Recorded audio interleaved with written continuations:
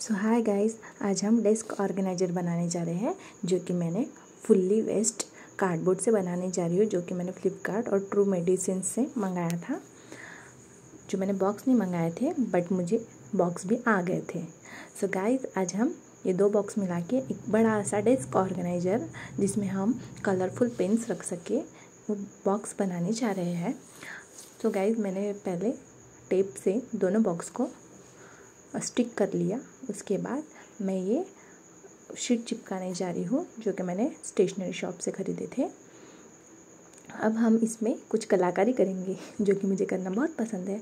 और ये D I Y वाशी टिप्स जो मैंने घर पे ही बनाए थे, जो मुझे बना, बनाना बहुत पसंद है। तो मैंने ये बनाए थे घर पे ही। और अब हम कुछ यहाँ पे क्विट्स लिखेंगे, जो मुझे अच्छे लगते हैं कुछ लिखना।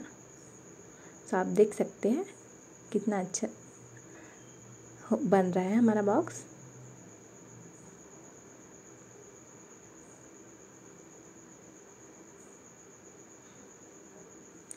अभी ये हम कट्स लिख के उसको मेटालिक गोल्डन पेन से हाईलाइट करेंगे, जिससे कि हमें बहुत ही अच्छा लुक आएगा ऑर्गेनाइज़र को.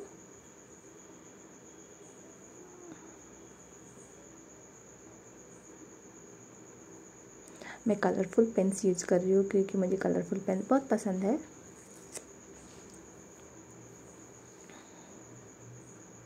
और जो ये डोम्स के ब्रश पेन्स देख रहे हैं, ये भी मैंने फ़्लिपकार्ट से ही मंगाए थे, जो कि मुझे कुछ ऑफ़र में कम में पड़े थे।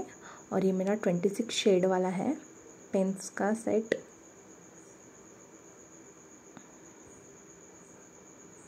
सो देखिए गाइस कितना सुंदर लग रहा है।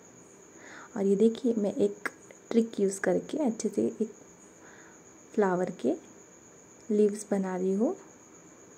और यहाँ पे देखिए लीव्स बना रही हूँ मैं, जो कि मुझे बनाना बहुत पसंद है और उसे सजाना भी बहुत पसंद है।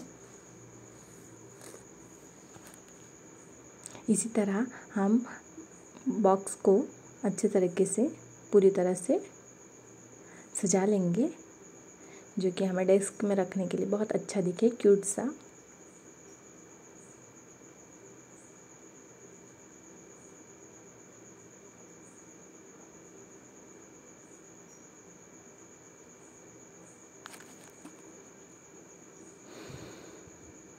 मुझे गोल्डन और सिल्वर या डोम्स के ब्रश पेन बहुत ही ज़्यादा पसंद है, जिससे कि हम हाईलाइट कर सकते हैं कुछ भी।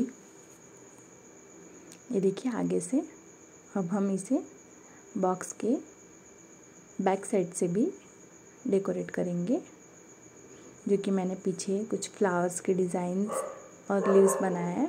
और यहाँ पे गुड वाइब्स लिख रही है, जो कि मुझे बहुत बहुत पसंद है लिखना। सो गाइस ये देखिए, हमारा डेस्क ऑर्गेनाइज़र रेडी है। सो गाइस आपको ये वीडियो अच्छा लगा हो तो प्लीज़ मेरे चैनल को लाइक सब्सक्राइब कमेंट शेयर ज़रूर करें। Thank you